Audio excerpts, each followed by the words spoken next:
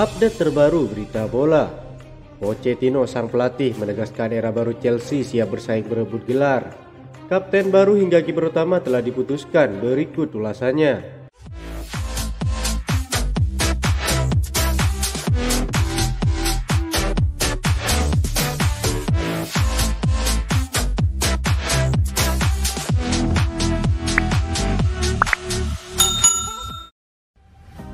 Chelsea dikabarkan tengah menjalin kontak dengan Ajax Amsterdam untuk menggait Mohamed Kudus. Dalam laporan David Ornstein, tim asal London Barat itu telah menghubungi pihak Ajax Amsterdam dan hampir mencapai kesepakatan pribadi dengan Mohamed Kudus.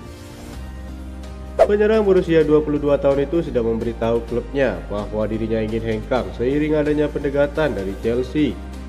Namun sebelum hijrah, Chelsea harus memenuhi permintaan Ajax yang meminta harga minimal 50 juta euro untuk sang pemain. Sebagai bagian dari kesepakatan, Chelsea menyodorkan dua pemain yang tak masuk dalam proyek Pochettino, yakni Hakim Ziyech dan Callum Hudson-Odoi. Kebetulan Ajax Amsterdam sendiri juga terbuka untuk bereuni dengan mantan pemainnya itu, sehingga potensi tukar tambah pemain pun bisa saja terjadi dalam transfer Mohamed Kudus.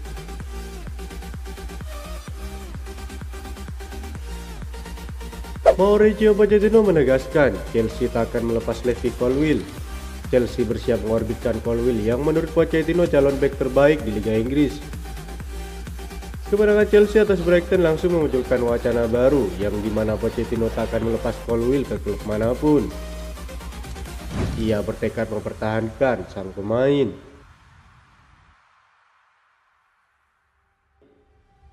Pria asal Argentina ini yakin Levi Colwill akan menjadi salah satu bek terbaik di Liga Inggris karena memiliki potensi yang begitu besar. Saya senang dengan dia, penampilannya bagus, lebih baik dari yang saya harapkan karena ini adalah salah satu pertandingan pertamanya.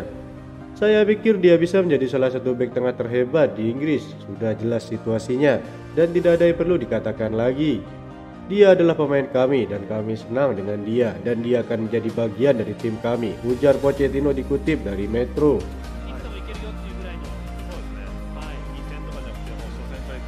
Hujan gol terjadi saat Manchester City menghadapi Yokohama F Marinos bermain di Japan National Stadium, Tokyo Minggu 23 Juli 2023. Pertandingan tersebut diwarnai 8 gol, The Citizen menang 5-3. Gol-gol Manchester City dicetak oleh John Stone, Alvarez, Rodri, dan Brace Erling Haaland.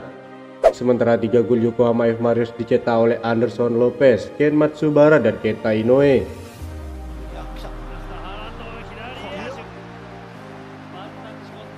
Melihat performa api Haaland di lapangan, Guardiola yakin sang mesin gol itu akan kembali jadi andalan di lini serang timnya musim ini.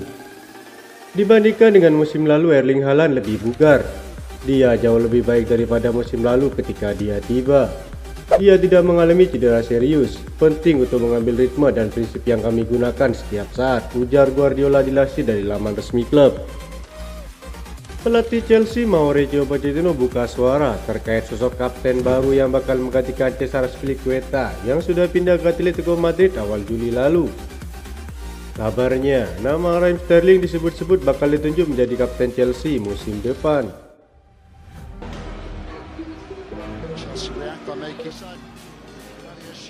Saya pikir dia adalah pemain penting bagi kami. Dia ada dalam rencana kami. Dia dapat memberikan banyak hal yang berbeda kepada tim.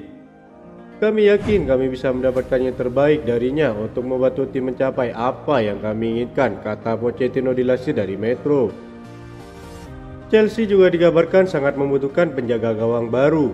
Saat ini Chelsea tengah mengincar Diogo Costa, kiper andalan Porto. Menurut outlet Portugis Record, penjaga gawang berusia 23 tahun itu masuk dalam daftar kandidat The Blues untuk menggantikan Edward Mendy. Laporan tersebut menyatakan bahwa Porto dapat menuntut sekitar 75 juta euro untuk mendapatkan tanda tangan Costa. Mahar tersebut akan menjadikannya penjaga gawang termahal kedua sepanjang masa di belakang Kepa Arrizabalaga.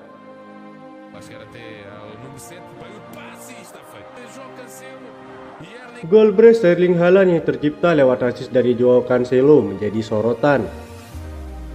Pemain yang baru saja kembali dari Bayern Munchen mendapat kesempatan mengikuti tur pramusim Manchester City. Manajer Pep Guardiola mengakui situasi sang pemain masih dinamis. Nasibnya serupa dengan Kyle Walker yang juga dispekulasikan.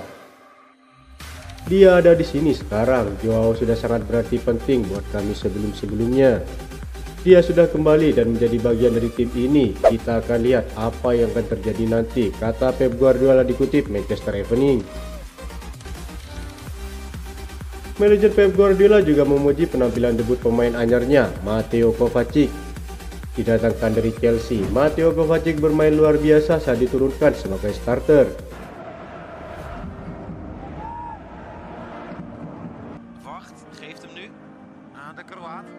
Sangat bagus, dia adalah pemain yang luar biasa, kami tahu itu. Ini baru pertandingan pertama, dia harus mengenal gaya permainan tim dan apa yang kami mau. Namun sungguh dia bermain sangat bagus, kata Pep Guardiola dilansir dari situs resmi klub. Pemain akademi Manchester City, Oscar Bob juga mempertontonkan performa yang sangat oke di laga debutnya. Pep Guardiola pun yakin gelandang serang 20 tahun itu akan menjadi the next Phil Foden saat naik level ke tim utama. Oscar membuat musim yang luar biasa untuk tim kedua Manchester City dia bermain luar biasa. Dia memainkan tiga atau empat posisi dengan baik. Kami sangat mengandalkan dia, Phil Foden yang pertama, Cole Palmer, Rico Lewis, James McCarthy, dan sekarang Oscar memiliki perspektif yang bagus, ucap Pep Guardiola dilansir dari situs resmi klub. Itu saja informasi yang dapat kami sampaikan. Terima kasih yang telah menonton video ini. Salam olahraga.